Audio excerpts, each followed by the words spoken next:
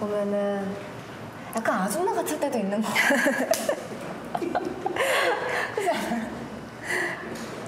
보람이를 옆에서 보면 친구로서 보면은 굉장히 순수해요. 순수하고 나이에 비해서 정말 순수하고 어린아이 같이 정말 그런 개구장이, 어, 개구장이 해맑은 모습도 있고요. 또 다른 시선으로 보면은 굉장히 또 어른스러운 면도 있어요. 가끔은 정말 아줌마나 할머니처럼 느껴질 때도 있는데 오히려 그런 모습일 때가 더 이제 신나 보이고 밝아 보이고 그렇더라고요. 음, 작지만 몸은 왜소하고 작지만 그래도 강한 그런 무언가가 있기 때문에 지금까지 열심히 잘 하고 있지 않는가 그렇게 생각해요.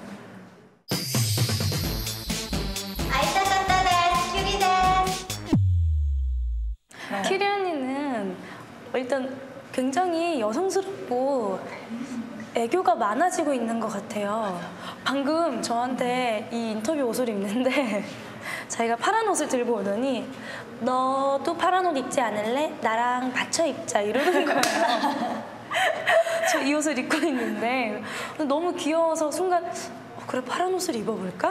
약간 이런 생각을 하게 만드는 매력이 있어요. 굉장히 귀엽고 여성스럽고 우리 집에 라면 먹으러 안 올래? 막 이러고 너무 귀여워요. 그래서 요새 조금 더 여성스러워지고 있는 것 같아서 네 저는 언니가 너무 좋아지고 있네요. 큐리 언니는 특이하지.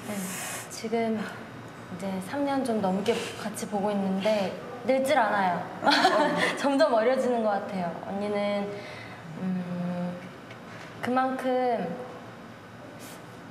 그냥 제가 보기에는 되게 순수한 것 같아요. 그러니까 그런 느낌의 뭔가 그런 아무것도 몰라요 이런 순수함이 아니라 그냥 되게 자신만이 갖고 네, 있어.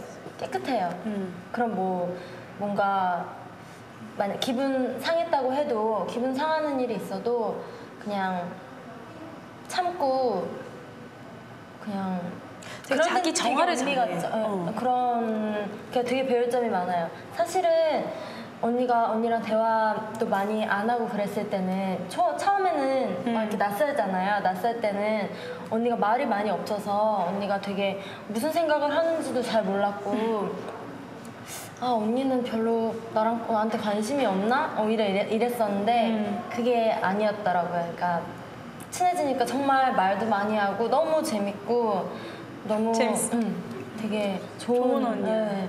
되게 그리고 되게 여자예요. 천상 여자 같은 스타일. 그죠? 음. 나긋나긋하고. 그리고 되게 좋게 생각하는 것 같아요. 항상 일을 좋게 생각하기도 하고 이성적으로 바라봐서 이건 이렇고 이건 이래 라고 말하기도 하는데 그게 조금 더 유순하고 굉장히 참 순수하고 그래서 배울 점이 많은 것 같아요. 아름이도. 아름이가 본 큐리 언니. 큐리 언니는 얼마 본 지 얼마 안 됐지만 그 짧은 시간 내에도 좀 알고 있었던 건 되게 사차원적이신 매력이 있으시고요. 빠질 수 없지. 진짜. 근데 뭔가 그게 되게 진짜 빠져드는 매력이 있는데 맞아. 제일 그러니까 어떻게 보면 제일 언니신데도 되게 진짜 언니들 말씀처럼 되게 어리세요. 되게 음. 진짜 안 늙으시는 거 같고 정말 제일 그리고 잘 챙겨주시고 언니답게 또 그런 게 되게 일단 제일 사차원적인 게 제일 먼저 언니의 큰 매력인 것 같아요. 맞아. 진짜. 신멤버 아름 데스. 네, 아름이는 어, 지금 제 생각엔 티아라의 복덩인 것 같아요. 어, 사실 새로운 친구가 다시 들어온다는 거에 있어서 걱정을 하게 됐었어요. 어떤 친구가 도로- 들어오게 될까 우려도 있었고 또 이제 티아라의 모습이 또 달라지는 거니까 참 고민을 많이 했었는데 그런 고민이나 걱정을 정말 한 번에 네, 날려줄 만큼 너무나 열심히 하고 또 착하고 예의 바르고 어, 책임감 있고 그런 너무 괜찮은 친구가 들어와서 지금은 티아라한테 복덩인 것 같아요. 너무너무 귀엽고 착하고 예쁜 동생이에요. 아름이 되게 귀엽고 또 정말 막내 같은 정말 막내라는 단어가 어울리는 정말 그런 귀여운 동생이고 인사성도 너무 밝고 하얗고 또 키도 크고 귀엽고 예쁘고 또 뭐든지 그래도 언니들한테 피해 안 가게 하려고 열심히 하는 그런 정말 착한 동생인 것 같아서 잘 들어와 줘서 너무 고마운 그런 귀여운 동생인 것 같아요.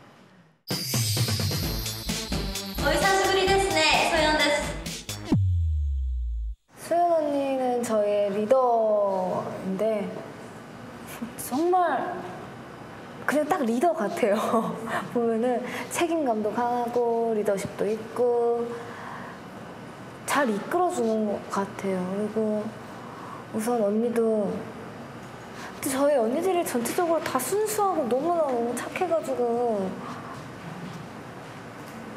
수연 언니도 약간 언니는 아빠 같아요. 아빠. 잔소리 이렇게 해줄 때도 있고 잔소리 하다가 또 이렇게 차- 챙겨주고 달래주고 이런 면이 또 있어서 귀여워요. 제가 느끼는 소연이는요 머리끝부터 발끝까지 다 귀여운 귀여운 귀여움인 것 같아요. 어, 어, 점점 더 귀여워지는 것 같고요. 음. 어, 또 일할 때에는 그래도 저보다는 한 살 어린 동생이지만 더 언니스러울 때도 있고 또 리, 현재 리더이기 때문에 또 이렇게 멤버들을 이끌어가는 그런 리더십도 있는 것 같아서 음.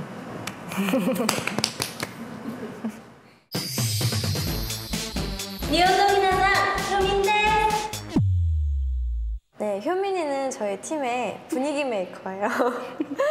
너무너무 어, 귀엽고 재밌는 친구인데요. 일단 부러운 부분도 많아요. 어, 자기 관리를 굉장히 잘하는 멤버 중에도 한 명이고 또 굉장히 열심히 하는 친구고 또 외모적으로도 또 타고난 예쁜 그런 모습이 많기 때문에 부럽기도 하면서 또 굉장히 열정적인 모습을 항상 보여요. 매사에 굉장히 열심히 하고 열정적으로 하는 모습. 그런 것도 굉장히 보기 좋은 것 같고 또 팀 내에서 너무 재밌어요. 그러니까 굳이 재밌게 하지 않으려고 해도 굉장히 재밌는 친구거든요. 그래서 네, 매력이 많은 친구인 것 같아요. 네, 어, 효민이 저희 엄마께서 맨날 하시는 말씀이 무대에서 효민이 같이만 해라 라고 말씀을 하시거든요. 그만큼 무대에서 효민이가 진짜 멋있게 하는 모습이 되게 멋있는 친구예요. 그래서 음, 무대에서도 멋있고 또 평소에는 재밌는 부분도 많고 이제 효민이 이름만 들어도 저희 멤버들이 막 깔깔깔대고 웃을 만큼 재밌는 부분이 많은 그런 귀여운 동생인 것 같아요.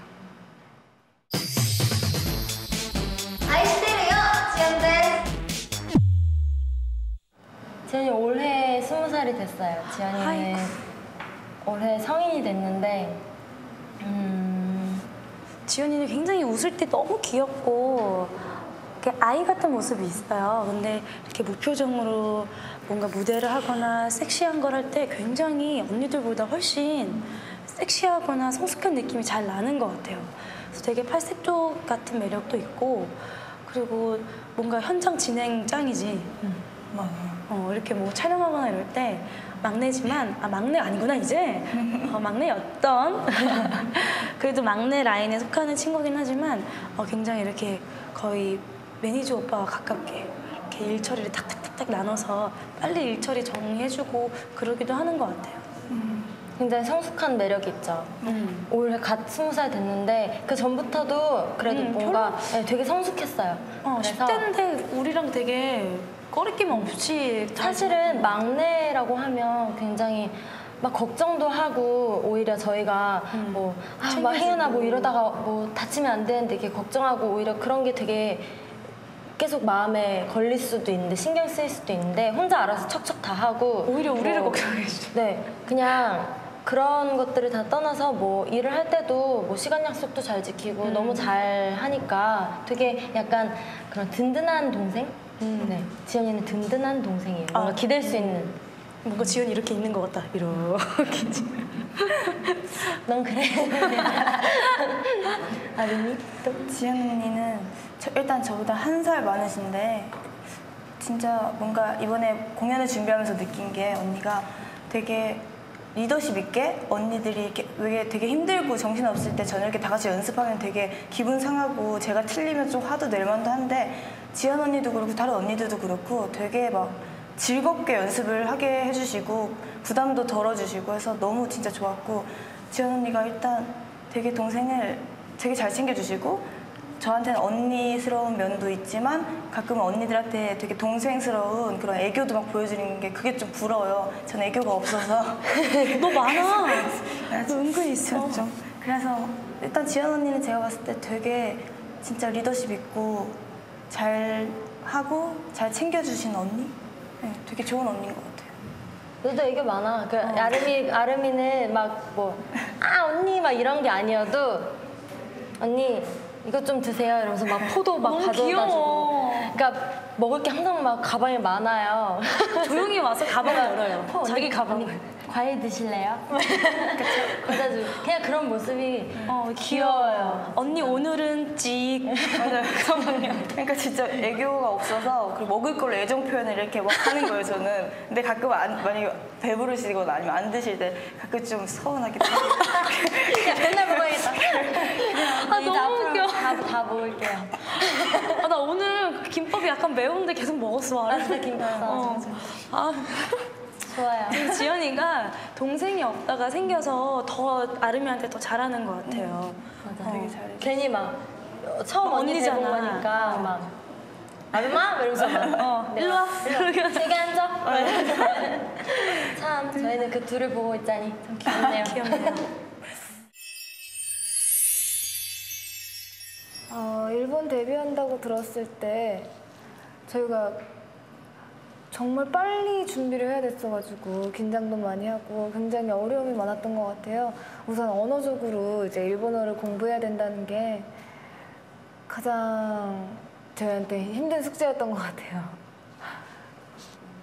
어, 처음 저희와 만났을 때 굉장히 큰 환호와 또 많은 감동을 주셨어요. 그래서 저희가 더 그 큰 환호성에 더 힘입어서 더 열심히 공연을 할 수 있었던 것 같아요. 저희가 뽀삐뽀삐로 데뷔를 했는데 오리콘 위클리 차트에 바로 1위를 하게 돼서 너무너무 놀랬고 또 저희는 정말 너무너무 감사했어요. 네. 지금까지도 많이 사랑해 주시는 것 같아서 저희는 항상 감사한 마음으로 열심히 하고 있습니다. 네, 그 각 지역 지역마다 이제 전부 다 기억이 나긴 하는데요. 어, 오사카 오사카 팬분들이 특히 기억에 남는 이유가 있어요. 개인적으로 오사카 팬분들 중에서 저의 팬분들께서는 코에 저처럼 아, 점을 맞아. 찍어서 그 단체로 저를 부르면서 응원을 해주시는 거예요. 그래서 너무 그것이 감동적이고 너무 감사해서 기억에 정말 남습니다. 저는 장소나 음식보다는 이제 전 이제 저희가 콘서트를 하는 곳마다 다 따라와 주신 팬분들이 계시더라고요. 그래서 굉장히 힘드시고 네, 저희도 정말 놀랐어요. 이렇게 전 지역을 따라, 따라다니면서 저희를 계속 응원해 주시더라고요. 그리고 항상 앞자리에 계셨어요. 그분들은. 그래서 항상 눈에 보이고 이제 그분들 얼굴도 이렇게 보면서 가까이에서 팬분들하고 교감할 수 있는 것 같아서 정말 좋았어요. 음, 아무래도 부도칸이라는 곳에서 이제 저희가 공연을 해야 하기 때문에 저희 멤버들의 약간 심적 부담도 없지 않아 있었는데요. 어, 그래서인지 좀 더 열심히 연습에 매진했던 것 같고 또 각자 멤버들끼리 이제 개인 무대도 있었기 때문에 더 신경 써서 팬분들께 보여드리기 위해서 연습을 많이 했던 것 같습니다. 부족한 공연이었나? 저희가 부족한 공연 때 앵콜 무대를 하는데 팬분들께서 이렇게 종이에 써서 이렇게 들어주신 게 있었는데 그죠? 부족한인가요? 그게 제가 그걸 보고